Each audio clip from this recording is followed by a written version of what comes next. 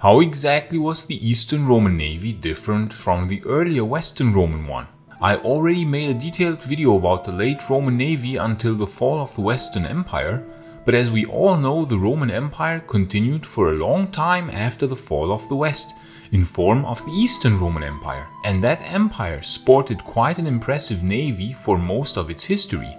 In fact, that navy would play a quintessential role in saving the empire time and time again from certain destruction.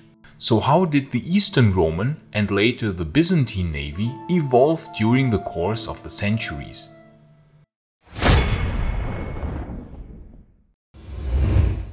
In the last video about the Roman Navy, I talked in detail about the late Western Roman and early Eastern Roman navies. We got as far as the naval disaster of Cape Bon in 468 AD. Even then, the Roman Empire could assemble a giant fleet, the likes of which the Mediterranean had not seen in hundreds of years. 1,100 ships had been built by the Eastern Roman Empire under Leo I, and a few hundred more were sent by the West under command of the Emperor Anthemius and the Magister Militum Marcellinus of Dalmatia. I made a very detailed video about why this giant naval operation failed. It certainly did not fail for a lack of resources, but only due to the incompetence and wrong military decisions on part of the fleet commander Basiliscus. Only eight years after this, one of the most giant naval disasters in Roman history, Odoacer took over control in Italy. Julius Nepos and Syagrius soon after were killed, and so the remainder of the Roman navy was now exclusively located in the Eastern Roman Empire. But of course, one could also argue that the Germanic kingdoms, especially the Vandals, still possessed remnants of the former Western Roman navy, since they just captured the vessels in the Roman ports. Especially the Vandal fleet must have been comprised to a large part of captured Roman vessels. However, after the dissolution of the Western Empire, now the Eastern Roman Empire would carry on the legacy of the Roman navy. The main ship of this Eastern Roman navy after around the year 500 was the Dromon, this was a type of galley, which in itself was an evolution of the Roman Liburnia, which was the main ship design in use when the Western Empire still existed. It is quite interesting to see that the Eastern Roman Dromon was essentially still very similar to the late Roman Liburnia, both in design and function. Uh, this type of vessel would now serve the Eastern Roman Navy for hundreds of years and would change only little during the course of the following centuries. After the disaster of Cape Bon, the East had to lick its wounds for quite some decades because the loss of 600 ships due to the folly of Commander Basiliscus almost bankrupted the Eastern Empire. But already some 60 years later, Belisarius had managed to conquer the Vandal kingdom, and he set out from Constantinople with a fleet of about 550 ships, most of them transport ships, but of course accompanied by many dromons. So we see that the Eastern Roman navy had impressively recovered from the disaster of Cape Bon, since a fleet of 550 ships is certainly very impressive. Just as a comparison, the Roman fleets involved in the Battle of Actium in the civil wars of the late Roman Republic counted about 400 ships on one side and 300 ships on the other. So we are talking about fleet sizes here comparable to the early Roman days. Even Majorian's fleet counted only 300 ships and hence Belisarius' 550 ship Vandal conquering fleet had a quite impressive size. Later then in the Gothic Wars, the Ostrogoths under their king Totila built a pretty impressive fleet of 400 ships at the Battle of Sena Gallica in 551, an Eastern Roman fleet clashed with an Ostrogothic one and the East won decisively. Not long later the Ostrogoths were completely defeated and so after this the Eastern Roman Empire was again the undisputed master of the Mediterranean. Thus, in the era of the late Emperor Justinian, this sea could once again be called Mare Nostrum. During this new height of the Eastern Roman Empire, it stretched again from the Levant all the way to the old province of Hispania, which was now called Spania. The size of the Eastern Roman war fleet must have measured around 600 ships during these days. But not long after Justinian, the Roman Empire would be faced with new threats. First, the Lombards conquered large parts of Italy in the late 560s and early 570s, quite certainly with the help of the remaining Ostrogoths. But even despite this blow, the Eastern Roman Empire still remained the undisputed master of the Mediterranean Sea. The first real challenge for that fleet would come in 626. In that year, the Persians and the Avars had encroached Constantinople, two massive armies from the east and from the west, and here the Roman fleet would prove absolutely instrumental in lifting the siege. Both the Avar fleet and the Persian fleet was completely destroyed by the Roman fleet, and so the siege was over, since now the Romans could bring unlimited supplies into Constantinople, making it impossible for the besiegers to have any hopes of capturing this mighty bulwark of Constantine. But not long later, the Eastern Romans would now face a formidable enemy. The Persians and Avars were defeated, but only some 10 years later, a new threat would storm into Egypt and the Levant from Arabia. Both the Persians and the Eastern Romans were weakened by decades of relentless and brutal wars, and so the Muslims had pretty easy game in conquering large parts of the Eastern Roman Empire. With the loss of these provinces, indeed we could now start calling this empire the Byzantine Empire, because the Roman Empire had now lost its most important provinces and a strong cultural transformation would now follow. And if you are a Rome nerd like me, then you will certainly love the wonderfully detailed handcrafted rings and other Roman accessories by the SPQR shop. These guys make really amazing items, carefully handcrafted, and you will certainly find something in their shop, link in the description. And they even make the one and only official Maiorianus channel ring, which you can order in bronze and even silver to honor the legacy of the Emperor Majorian. I like to think that Majorian would be proud if he could see that. With the code Maiorianus, you even get a 10% rebate on every one of their items, so go and check out their amazing shop. And you can now even order Maiorianus merch. Yes indeed, mugs or t-shirts on my official merch page, to which I of course also link in the description. Julius Valerius Majorianus would be quite surprised to see all this merch. And Ricimer would be super jealous because he does not get a single item. Quite amazing stuff, so go and check it out.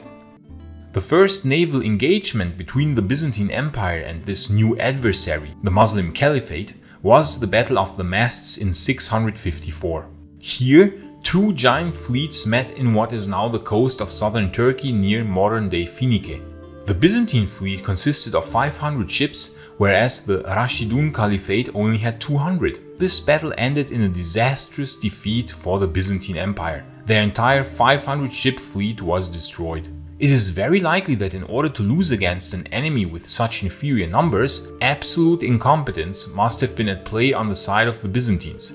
Their Emperor Constans II, quite likely having had no experience whatsoever, was not a brilliant naval commander and so barely escaped this encounter with his life. And it is quite likely that this total disaster, the likes of which the Romans had not witnessed since the Battle of Cape Bon 200 years prior, would have spelled the end for this remainder of the old Roman Empire.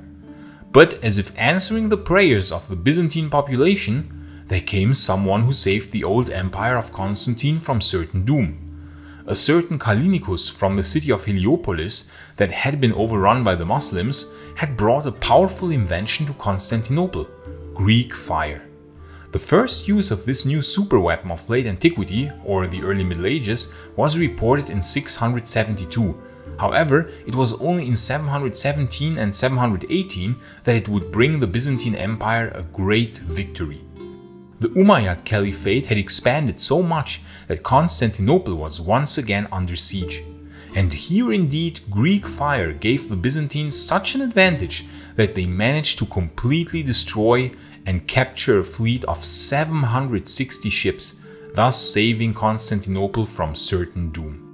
During these times, since now the culture of the Eastern Romans had become fully Greek dominated, so did the organization of this now Byzantine fleet change. During Roman times, the fleets were organized in the classis system. I talked about it in detail in this video here. However, since as we said massive cultural shifts took place in the early to mid 600s, so did this system change and the fleet was henceforth organized in the Carabisiani system. Carabisiani can be literally translated as seamen. They were mentioned for the first time around the year 680 and formed in largely the same way as the land army's themes. They were a distinct military corps named after its soldiers and headed by a strategos. Progressively, however, the Carabisiani fleet was split into several regional thematic fleets, while the central imperial fleet was maintained at Constantinople, guarding the city and forming the core of naval expeditions.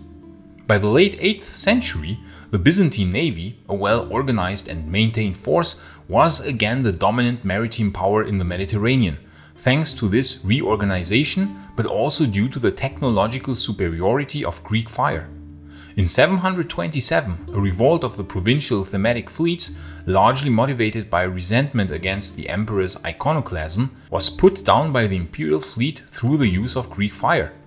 Despite the losses this entailed, some 390 warships were reportedly sent to attack Damietta in 739 and in 746 the Byzantines decisively defeated the Alexandrian fleet at Keramaia in Cyprus, breaking the naval power of the Umayyad Caliphate.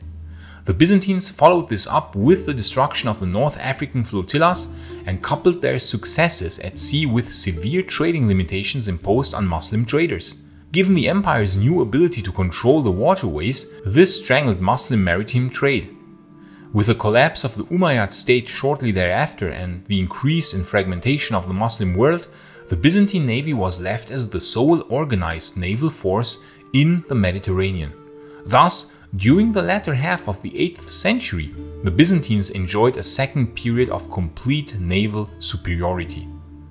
The antagonism with the Muslim navies continued with alternating success, but in the 10th century, the Byzantines were able to recover a position of supremacy again in the eastern Mediterranean. Around the year 900, the Byzantine navy consisted of 300 warships, which is still a very respectable size.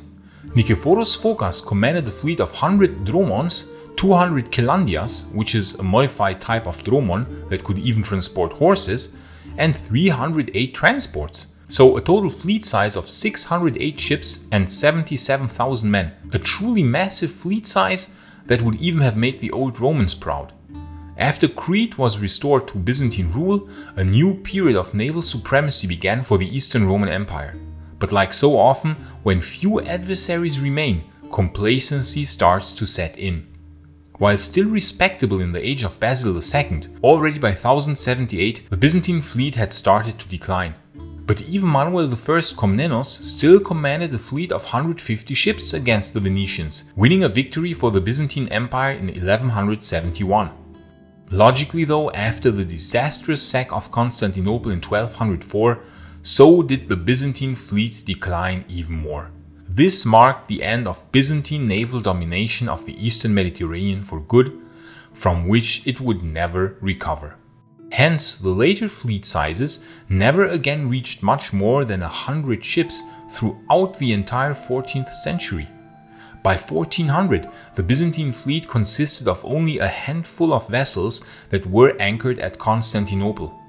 The last Byzantine naval victory was achieved in 1427 at the Battle of the Echinades Islands, where the despot of Epirus was defeated and his possessions annexed by the Byzantines. But we can imagine that this battle hardly involved more than a handful of ships. The last naval engagement of Byzantine history took place when three Genoese galleys escorting a Byzantine transport fought their way through the huge Ottoman blockade fleet and into the Golden Horn during the siege of Constantinople in 1453. And with the final fall of Constantinople, so ended the Byzantine or Eastern Roman Navy, which had at times dominated the entire Mediterranean and which was a formidable fighting force well into the 12th century, giving the Byzantines naval domination for hundreds of years. Thus, the entire Roman navy lasted from the times of the mid-Roman Republic, when the first giant fleet was built in the First Punic War in the 3rd century BC, all the way until the 15th century AD. Thus, the Roman naval power dominated the Mediterranean Sea for around 1300 years, which is quite a remarkably long time period. And please like and subscribe so that you won't miss any future videos on the fascinating era of the late Roman Empire. And please consider supporting my work on Patreon or via YouTube membership, because the long-term sustainability of this channel really depends on your support. This channel would not work without our amazing Patreon and YouTube members, and I want to thank each and everyone who is supporting this channel in any form. Gratias tibiago amici. And if you want to learn more about the late Western Roman Navy, you can watch this video in the upper right corner. But if you are more interested in learning about why the epic landing operation at Cape Bon failed, you can watch the other video in the lower right corner. I say thanks again to all friends of Roman history, gratias tibiago and bene valete.